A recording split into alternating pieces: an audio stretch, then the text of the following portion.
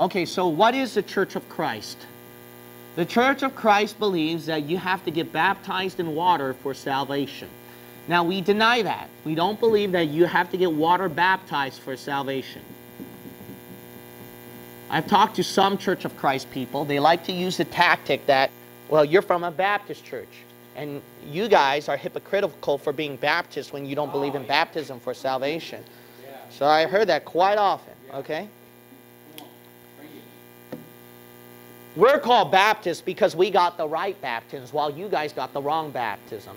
Just say that next time, okay, to them? By the way, if they stress so much on baptism, why don't they call themselves Baptists? Okay? All right, well, anyways, aside from that, let's look at John chapter 3. Let's look at John chapter 3, and then we'll read verse 3. John chapter 3, verse 3. Oh, you want to be a Baptist? Why don't you come to our church then? You know, why do you have to talk bad about Baptists? Why don't you come to our church then? Why do you have to go to Church of Christ? All right, John chapter 3. This is their verse to prove water baptism for salvation. Verse 3. Jesus answered and said unto him, Verily, verily, I say unto thee, except a man be born again, he cannot see the kingdom of God. So we believe in being born again for salvation. Verse 4 Nicodemus saith unto him, How can a man be born when he is old? Can he enter the second time into his mother's womb and be born? Jesus answered, Verily, verily, I say unto thee, except a man be born. So this is how they explain born again for salvation. Verse 5 Except a man be born of water and of the Spirit, he cannot enter into the kingdom of God. So notice their tactic here. Their tactic in verse 5, it shows it seems to show that to be born again, you have to be water baptized because it says born of water and of the Spirit. So that's their tactic here. Now, the thing is, it's very easy to debunk this. What's very easy to debunk this is did you see baptized, the word baptized anywhere? No. All it said was water, right? That's all what it said. Now, the thing here is that, look at verse 6. Jesus interpreted what he meant by born of water and born of spirit. Verse 6 That which is born of the what? Flesh is flesh. Oh, there's your born of water. And that which is born of the spirit is spirit. There's your born of the spirit. Ah, you know what the answer is? Okay, so let's go through this one by one. We use John chapter 3, verse 3. You must be born again for salvation. Now, Campbellites, when they see that, oh, so Church of Christ, they're also called Campbellites, okay? In case you hear me say that from time to time.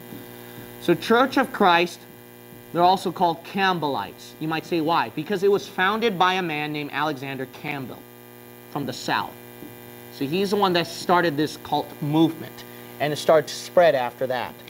So Campbell was the one who started this movement and then it started to spread. So that's why they were infamously called Campbellites as well, not just Church of Christ. Anyway, we use John chapter 3, verse 3. You're born again. They're going to jump. When you show them that verse, they're going to jump to verses 4 through 5. That you have to get water baptism. But wait a minute, it says born of water. It didn't say baptized by water. Why did Jesus say that? Then you jump to verse 6. It's referring to a fleshy birth, born of water. What do we say about a pregnant woman when she gives birth to a child? Her water broke. See? So this is a fleshy birth. That's very simple. Now some, now I, there are Catholics who will use, Catholic apologists who will use this verse too. Now some of them are very dishonest, some Catholic apologists and some Church of Christ apologists. They're going to say, well, these Baptists, when they hear that, when they hear you debate this, argue about born of water, tell them this, is that uh, why would John think of some kind of uh, uh, plasma pregnancy? So that's how Baptists would argue. This is referring to, this water is referring to some plasmic, uh, plasma pregnancy or something like that, some medical terminology, uh, that they were born from that to be saved. And then they're going to use that tactic to say, you see how Baptists complicate the argument right here? But we didn't say plasma medical terminology so and so. We just simply said water. That's all we said. And that's a common term that is used, and that is very true. How were we all born? We were all born from water as well. That's very simple to understand. How is that a complicated term? They're going to focus on the plasma, the pregnancy, the plas plasma pregnancy, stuff like that, not on the water. But Jesus, when he's talking about being born of water, he's not thinking of some complicated medical terminologies here. He's thinking simply right here, just water. It's that simple. Because we're all born from water. But he interpreted it at verse 6. That which is born of the flesh is flesh. That which is born of the spirit is spirit. Why did Jesus say that then, huh? That which is born of the flesh is flesh. After he said you're born from water and of the spirit. See? So this proves that this is a referring to not to water baptism, but a fleshy birth. Now, if they like to use water, look at Genesis 7. Genesis 7. Well, because it says water, so now here's the thing. If you see anywhere where it mentions water in relation to salvation, they will automatically assume that's referring to water baptism. Well, if that's the case, then you show them Genesis chapter 7 and verse 19. Now, how many of you think water baptism on this? Genesis 7, verse 19. And the waters prevailed exceedingly upon the earth, and all the high hills that were under the whole heaven were covered. Fifteen cubits upward did the waters prevail, and the water, mountains were covered. And all flesh died that moved upon the earth, both of fowl and of cattle and of beast and of every creeping thing that creepeth upon the earth, and every man, all in whose nostrils was the breath of life of all that was dry land died. Uh, let's skip down over here. Uh, the last part of verse 23 and they were destroyed from the earth. And Noah only remained alive, and they that were with him in the ark. And the waters prevailed upon the earth in 150 days. So did you think all the world and all the animals who were in that in those waters that they got baptized for salvation? No. See, that's why you got to look at the context of what water is. Just because it says water, don't automatically assume baptism. That's important to understand. You got to see what the context is referring to. All right, let's also look at uh, John chapter 3. Again, John chapter 3. By the way, the verse showed you how to get born again. They didn't keep reading John 3. They just jumped down. They skipped forward. But look at John chapter 3, verse 15. Verse 15. They need to keep reading here. And if they kept reading, then they would see what this born again is that Jesus was referring to. It's by believing on Jesus Christ for salvation, folks. Verse 15, As Moses lifted up the serpent in the wilderness, even so must the Son of Man be lifted up, that whosoever believeth in him should not perish, but have everlasting life. See, that's the context of born again. Verse 18, He that believeth on him is not condemned but he that believeth not is condemned already. Okay, my question is this. If you think that this is referring to baptism for salvation, what you need to do is this. They like to tackle this one. Apologists. Some of them are kind of smart apologists. They'll try to tackle this one. When they try to tackle this one, all you have to do is this. If you think it's referring to baptism, why doesn't it say baptism in, throughout that entire chapter? That whole chapter of Jesus' discussion with them shows no water baptism whatsoever. But it mentions about believing, though. So what's stronger here? Born again. Born again, is it by believing or baptism? I mean, Jesus mentioned believing on Christ several times here. Let's also look at Romans chapter 6.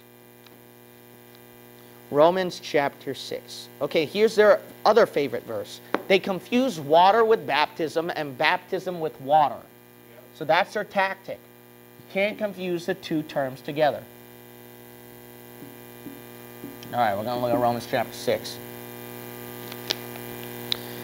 Then we're going to look at verses 3 through 6. Okay, notice right here it says baptism. So because it says baptism, we must have been saved by water baptism. Okay, look at Romans chapter 6. We'll read verse 3. Paul says right here, Know ye not that so many of us, as were baptized into Jesus Christ, were baptized into his death? Therefore we are buried with him by baptism into death, alike as Christ was raised up from the dead by the glory of the Father, even so we also should walk in newness of life. Uh, let's see. So notice right here from verses, you can keep reading down 5 and 6. It seems to show that because baptism was mentioned here, we got saved by baptism. Now, here's the problem again. Do you see water anywhere in that chapter? No, you don't see water anywhere there at all. See, they automatically confuse water with baptism and baptism with water. You might say, doesn't baptism mean water, Pastor? Of course not. Look at Mark chapter 1. Mark chapter Baptism is simply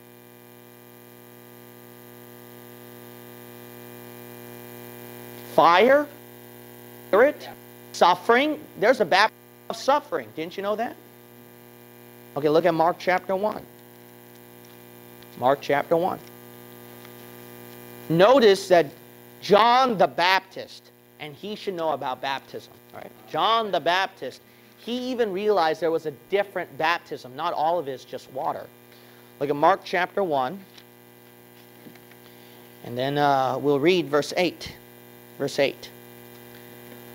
The Word of God says, I indeed, this is John the Baptist speaking, I indeed have baptized you with water, but he, Jesus, shall baptize you with water.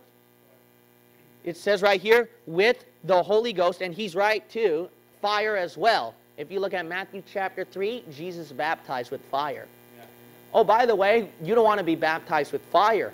yeah, right. Baptism of fire is hell, actually, in Matthew chapter 3. So you got to realize this. See, there are different baptisms. Different baptisms. So our friend here, he mentioned fire right here. So that's one, baptism of fire. Good point. The Bible shows baptism of suffering. I don't know if you knew that. Baptism of the Holy Spirit right here. So think about this. In Romans chapter 6, go back there, verse 3. Verse 3. Romans chapter 6, verse 3. What is this baptism then? Is this water? Or is it more accurate to say the Holy Ghost? Remember, John the Baptist, what did he say in Mark 1? I baptize you with water, but he, Jesus, he, Jesus, will baptize you with what? The Holy Ghost. Look at Romans 6 3. Who's the one that baptized? Who's involved in this baptism? Verse 3. Know ye not that so many of us, as were baptized into what? Jesus Christ. Remember Mark 1? Jesus will baptize you with what? When you got saved, didn't the Holy Ghost went inside you and immersed you? There's your simple answer. See that? Oh, by the way, um, you can write this. This is a side note. We're not going to turn there, but here's a side note. Um, oh, let's uh, look at 1 Corinthians 12. I forgot this one. 1 Corinthians chapter 12. This is even more play. Look at 1 Corinthians 12.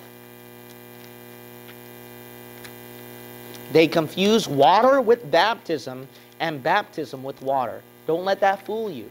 So whenever you see a verse that says baptize, whenever you see a verse mentions water, don't let that fool you.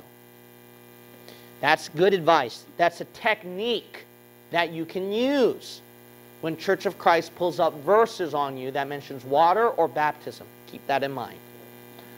Okay, look at 1 Corinthians chapter 12, verse 13. Uh, the Bible says right here, For by one Spirit, by one Spirit are we all what? Oh, there you go. Into one body, whether we be Jews or Gentiles, whether we be bond or free and have been all made to drink. Is that water? No. Into what? One spirit. Oh, look at verse 27. Verse 27. Now ye are the body of who?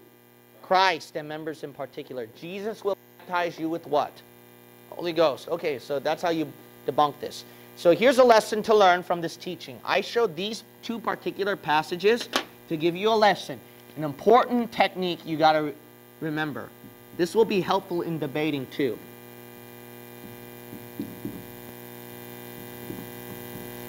Whenever you see these words in the verses,